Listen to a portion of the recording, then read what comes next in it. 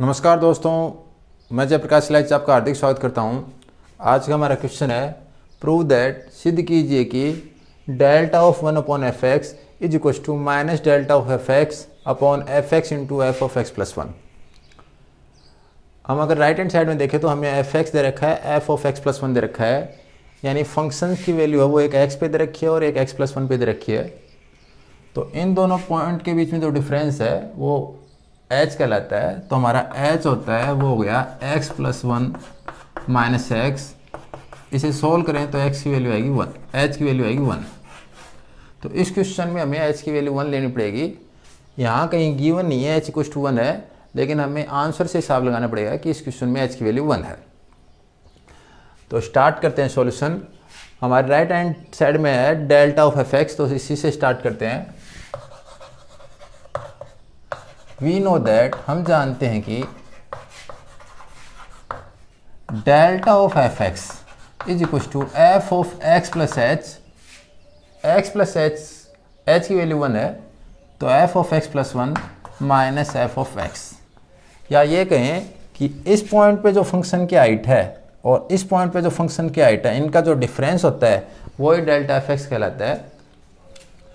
Equation number one left hand side से start करते हैं। हमारी लेफ़्ट हैंड साइड है delta of one upon f x.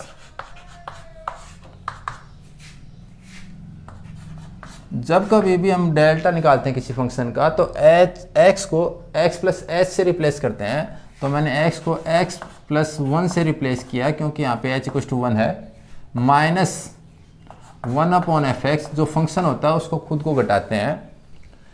एल्शियम लेने पर f of x plus one into f x यहाँ पर अगर एल्शियम लेंगे तो हो जाएगा f x minus f of x plus one अगर हमें इक्वेशन वन का यूज़ लेना है तो मुझे माइनस कॉमन लेना पड़ेगा।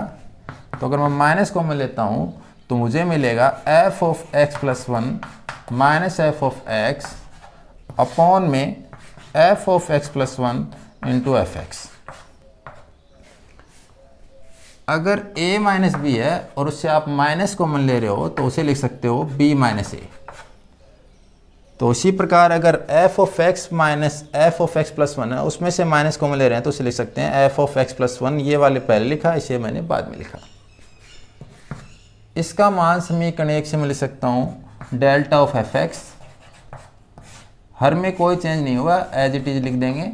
डिनोमीटर में कोई चेंज नहीं है। यही हमें प्रूफ करना था। तो हम लेफ़्ट हैंड साइड लेके चले राइट हैंड साइड ले आए हैंस प्रूव्ड